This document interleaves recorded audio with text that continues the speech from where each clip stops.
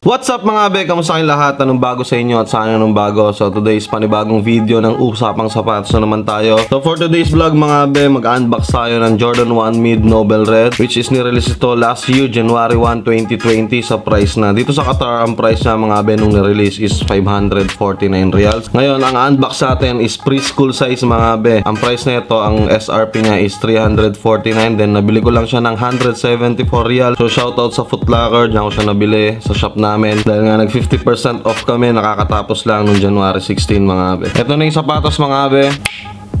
Yan na siya mga be. Bali ito yung box ng Jordan 1 Mid Noble Red. Preschool size to mga be. Ah, Disclaimer, hindi to men's size. Bali ang size ng binili kong sapatos mga be is para sa baby ko. Ayan nga.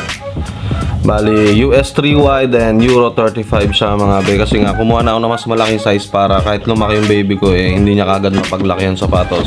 So, as typical box ng Jordan 1 mid, yan, kulay black, Jumpman logo, details ng Nike address, ano, yan, nandyan. Pagkakaiba niya lang mga be, yung uh, men's size ng Jordan 1 mid is merong sticker ng Nike dito, which is wala to sa preschool. Then, as, as usual ng box ng uh, Jordan 1 ay may number 23 dyan. Then, ito na yung laman niya mga abe. Yan, syempre may kasamang Jordan Jumpman sticker. Bali, ito na yung item mga abe. Ito na yung pinakasapatos. Ilalabas ko muna siya para mapakita ko ng detailed.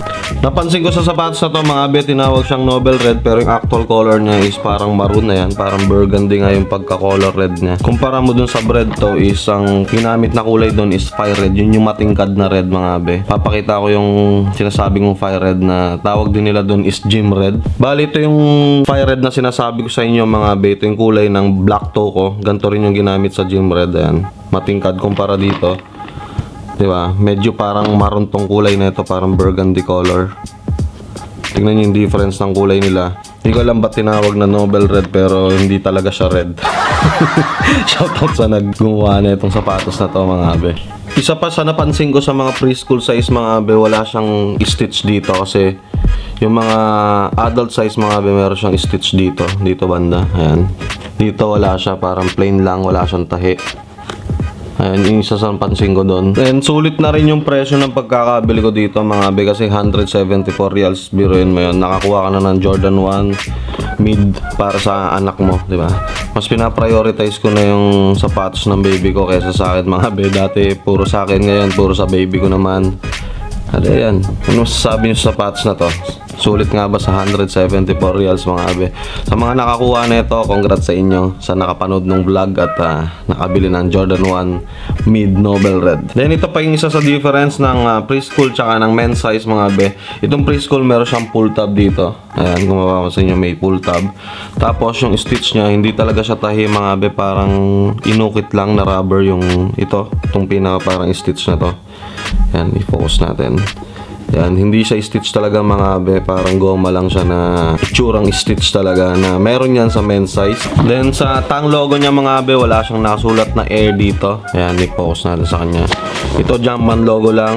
Yung men's size, meron siyang nakasulat na air dito. Sa kanya is, yan lang. Jordan Jumpman logo. Napaka plain lang. Isa pa sa nawawala dito mga be, yung insole niya is plain lang. Walang nakalagay na Jumpman logo sa loob.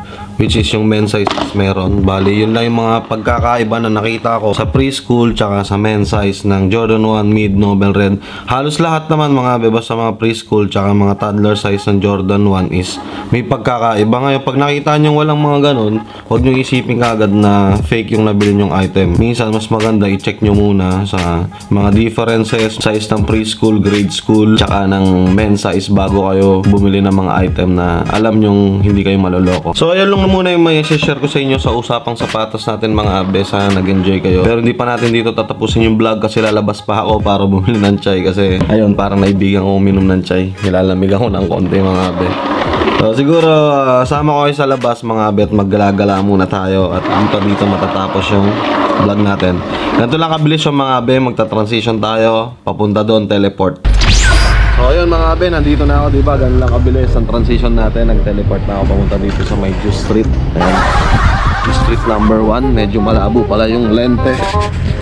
Ayan. So bibili lang ako ng chai ko mga abe. Kasi pang ano to eh, parang daily routine na to. eh. Dapat mag-chai ako sa isang araw kasi pang pang-energize na.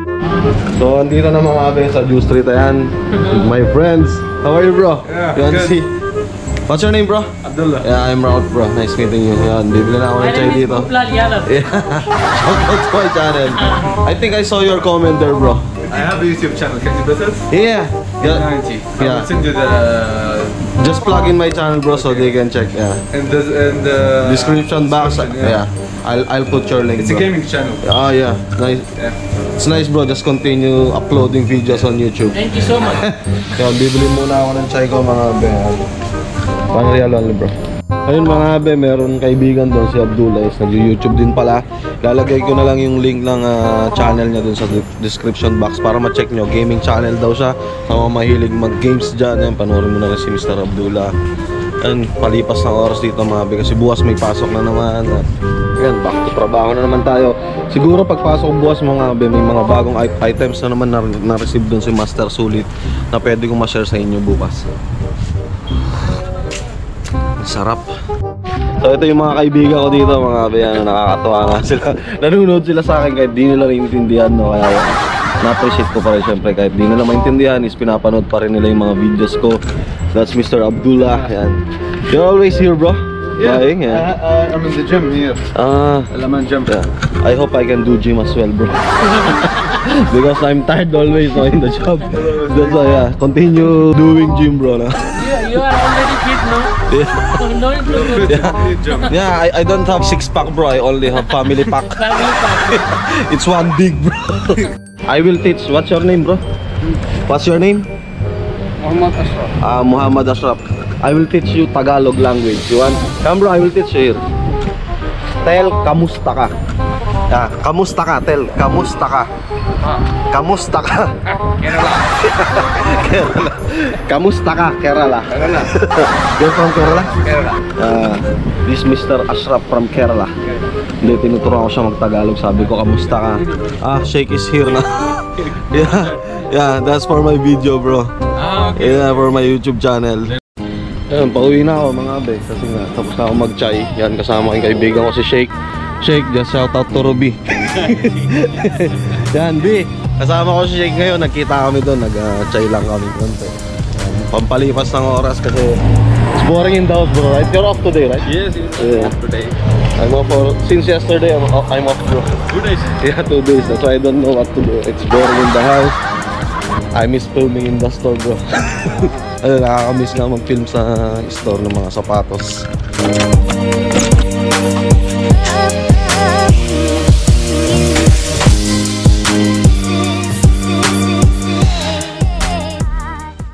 Hindi ko na naman alam ang gagawin ko. Ay, salamat. Bukas may pasok na rin mga be. At uh, yun lang, siguro edit ko na lang yung video. Bali, patapos na yung pina... Ito yung unba- unboxing review natin ng Jordan 1 Noble Red. Bali na nakamada ko na yung mga ibang clips. At i-edit ko na lang siya mga be.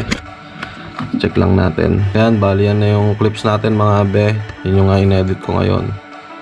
So, dito na muna siguro tatapusin yung vlog mga be. Maraming maraming salamat sa pagsama. At syempre, kung bago ka sa channel ko, huwag mo mag-like, comment, and share mo na rin tong video na to.